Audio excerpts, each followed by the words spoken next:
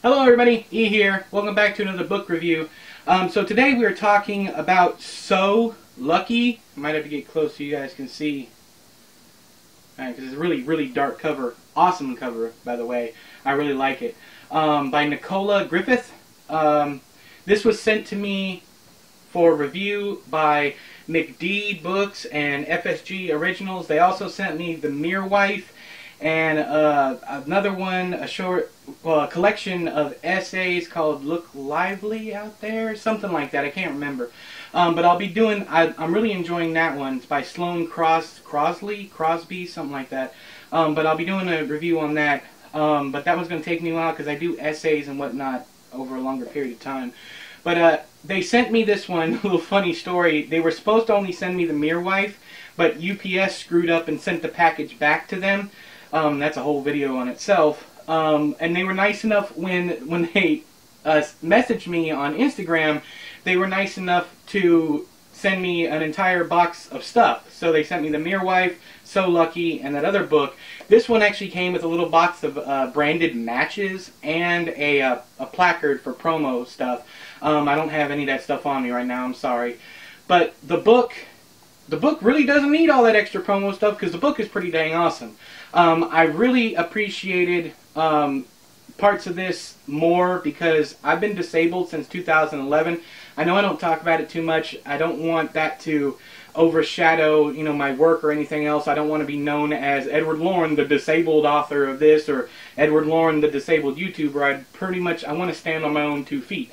Um, no, no bad puns intended there. I'm sorry. Um, anyways, and this book, I was a little trepidatious when I went into it, um, and you can read more about that in my Goodreads review. I'll link down there in the doobly-doo. But uh, I'm glad to say I really didn't have any problems with this other than there's a subplot, main plot-ish kind of murder mystery, whatnot, that kind of goes nowhere and is wrapped up way too simply uh, for my taste. But I love that certain aspects of this um, had to do with, you know, being more than your disability, being more than your illness, um, and how, you know, we're all human and we should all be treated like humans. Uh, I know some of you that follow me are not really anti-SJW, but uh, you don't like politics or anything in that realm. This does not preach to you. There are some really great lines that will make you look at things a little differently. I'm going to read one of those here in a minute. But uh, and I, I, hope I don't think it's a spoiler, so I, I'll read I'll read over real quick to make sure or not. But there are aspects of this book where the her disability, her pain is personified. And I think those are my favorite parts about this book. If any of you have read my novel, The Sound of Broken Ribs, there are a lot of similar ideas in my book and this book. Not to say at all that she took any ideas from me. I'm sure she hasn't read me at all. Um, but in fact, she probably didn't even know who I was until I tweeted her for the first time to tell her how much I was enjoying the book. Um, the as this personification of her disability and every the way that wraps up is pitch perfect. Um, the very last couple pages of this book I loved and I think that's why I didn't care as much for the murder mystery aspect because that was such a strong aspect of the book. I didn't feel we needed the murder mystery aspect. So I'm going to read you one line that I really, really appreciated. Um, and it made me think not differently because I already felt this way to an extent, but she puts it so much better. Um, I don't think there's any. Yeah, there's there's no there, there's no spoilers here. But I am not going to give you the context of which it's in because that would be a spoiler. What is said is this is a character speaking. Well, you'll figure that out in a second. No, I said. Every time there's a serial rapist out there, police say, ladies, stay indoors for your own good. Why don't they ever say, men, don't rape? Men, there's a curfew. Inside by 10 or we'll cut off your balls. Why should I have to stay away from my home? Why should I, yeah, why should I stay away from my home? Why should I let these people terrorize me into lying down and turning my face to the wall?